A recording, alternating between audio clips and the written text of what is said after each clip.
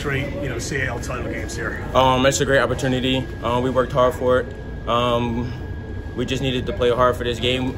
We came out in a rough start the last couple of games, so we just needed to bounce back. This was a, a big one for us, and we just had to play hard. How much did you guys want to maybe make a statement, or after what happened in Hamilton, come back and sort of, you know, make up for that a little bit? Yes, we had to make up a lot for it. That was a that was a bad loss, and we knew we just had to play strong. Like we had to play harder than we ever did because we shouldn't have lost that game the first time.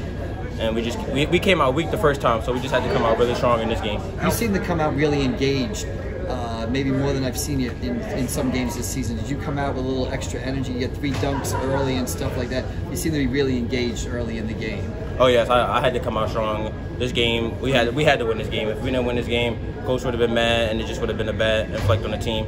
So we just had to play. I had to get my all. How, how, how fun is it when you get all those dunks, all those opportunities around the rim? Oh, it feels good. Get my anger out, and it just feels good. What about the last one? That ball was up there. Was that one-handed? Uh, Oh. The last one was nice. Tell us about that one. Oh, that was just from forward. I just that's how you end it. Was it important for you to, to come out and maybe kind of show the other guys or maybe set the tone for the other guys to kind of follow your lead tonight? Yes, um, uh, like coach says, if I I have to pick the team up sometimes, I will have to pick the team up. So whatever we do is inflect on the team. So if I, I know if I play hard, the team will play hard. Thanks, Doug. Congratulations. Thank you, Taj. Thank you.